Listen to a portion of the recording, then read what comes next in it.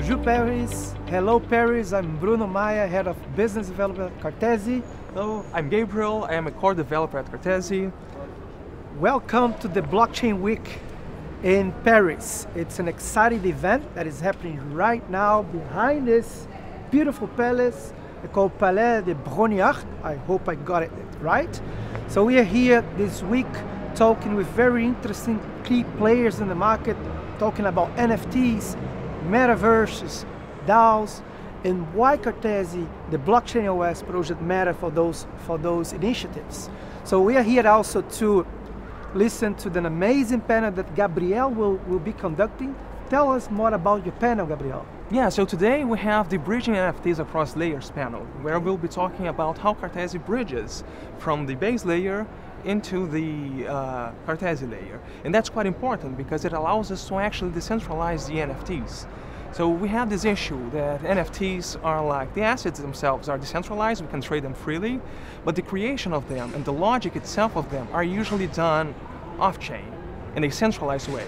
So it doesn't matter if the NFTs themselves are decentralized if they are running on your data center, if the metaverse is running on someone else's data center. So that's why Cartesi is meaningful for NFTs. And this is a key point that Cartesi is bringing to this game, the blockchain OS is bringing, which is the capacity to massively develop those logics that controls those NFTs and everything related with that in a decentralized way. So that will change a lot the way that relate um, in the industry and relates with the business.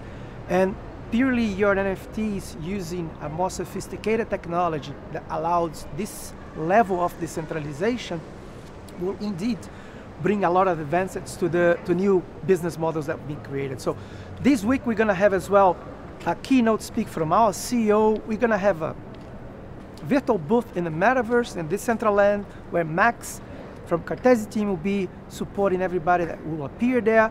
And here in, uh, in, the, in the event itself will be myself, Gabriel, and Natalie, our head of marketing. So I'm pretty excited to see what we're gonna see and talk this week. We're gonna we're gonna have talks about sustainability with our with our strategic advisor and how NFT can play a role on that. We're gonna talk with game industry, gamer, game studios, and how Cartesi can play a role on that, exactly as Gabriel mentioned further decentralize and bring in a meaning to those NFTs that right now they're controlled by a central authority, which is in fact worthless. So uh, I'm pretty excited to see this week unfolding in front of us. We are here happy to be once again in Paris and looking forward to what comes next. Hey community, right now let go let go with us. Let's take a look in our booth that is getting ready. I would love to show how it looks inside. Come on.